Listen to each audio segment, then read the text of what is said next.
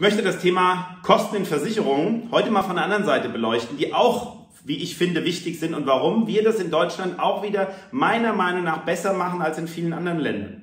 Bei uns hat man die Altersvorsorge als private Altersvorsorge in die Hand von Versicherungsunternehmen oder von äh, Finanzinstituten gegeben. Und jetzt gibt es ja immer wieder Leute, die meckern, das dürfte alles nicht sein, kostet alles viel zu viel, das müssen wir machen wie in anderen Ländern, da muss es verstaatlicht werden. Ich weiß nicht, ob das so clever ist. Man braucht ein bisschen volkswirtschaftliches Know-how und betriebswirtschaftliches Know-how. Eine Versicherung macht Gewinne. Gewinne sind die Gelder, die Sie nicht an Ihre Versicherten wieder ausschütten. Und mit diesen Gewinnen machen Sie zwei Dinge oder zwei große Dinge. Einmal machen Sie eben Gewinne und zweitens bezahlen Sie Ihre Mitarbeiter davon. So, jetzt nehmen wir an das Thema der Gewinne. Wenn du jetzt ein bisschen Vermögen aufbaust oder hast eine Altersvorsorge, dann hast du die heute und vor allem auch in Zukunft mit ziemlicher Sicherheit fondgebunden. Das heißt, in diesen Investmentfonds sind auch die Gewinne von Versicherungen drin. Würde man jetzt diese gesamte Branche abschaffen, weil man sagt, das ist alles Quatsch, wir verstaatlichen das alles, würde deine Rendite der Investmentfonds nach unten gehen, weil ein ganzer Wirtschaftszweig darin fehlen würde. Wäre also meiner Meinung nach nicht so clever. Das zweite ist, da werden ja Mitarbeiter von bezahlt. Die Leute, die du anrufst, wenn du eine Frage hast, die Leute, die dein Geld managen, die Leute, die sich um deine Riester-Zulagen kümmern, die Leute, die so wie ich dir das Produkt erklären und verkaufen und erhöhen und erniedrigen und beraten und was auch immer. Da kriegen wir ja alle Geld für.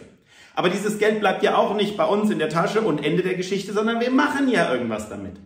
Und egal, was du beruflich machst, wenn du nicht gerade im Staatsdienst bist oder eben im öffentlichen Dienst, dann bist du von Kunden abhängig. Vielleicht nicht direkt, vielleicht mischst du Farbe zusammen und sagst, ich habe doch nichts mit Kunden zu tun, aber du mischst die Farbe zusammen, die, keine Ahnung, VW fürs Cockpit braucht. Oder die jemand im Bauhaus kauft, was auch immer. Am Ende des Tages bezahlt dein Gehalt ein Kunde.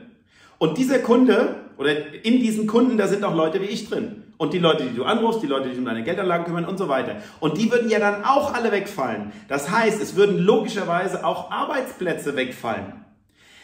Ich konnte das noch nie verstehen, das so ein bisschen, ich will jetzt hier nicht zu politisch werden, aber wie die Leute, die sagen, ja, die ganzen, was weiß ich, Ausländer oder Flüchtlinge, die kommen, die kriegen dann so viel Geld, was man damit alles machen könnte. Was? Damit macht man etwas Gutes. Wenn die, ich sag mal eine Zahl, 40 Milliarden kriegen, dann ist es doch nicht so, dass diese 40 Milliarden weg sind, sondern einen Monat später, bis die wieder Geld kriegen, ähm, haben die doch, keine Ahnung, 39,5 Milliarden davon in diesem Land ausgegeben. Die haben dem Vermieter Geld gegeben, die sind beim Rewe einkaufen gewesen, die haben vielleicht einen deutschen Handyvertrag gemacht. Das heißt also, dieses Geld bleibt doch in der Wirtschaft und hilft damit uns allen.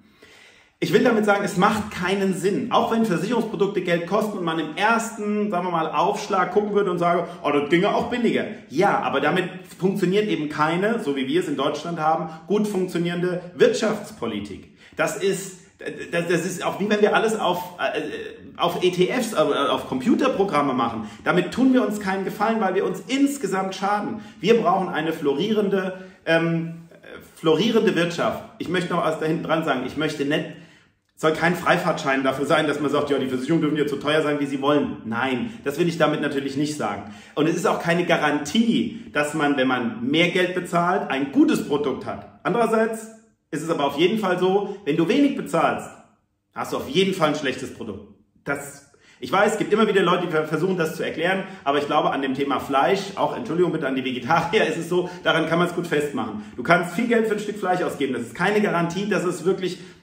ein, ein gutes Stück Fleisch ist, weil du kannst auch in Anführungsstrichen beschissen werden. Aber eins ist klar, für 50 Cent kriegst du kein gescheites Stück Fleisch, kein Tier, was ordentlich gehalten wurde und gut gelebt hat.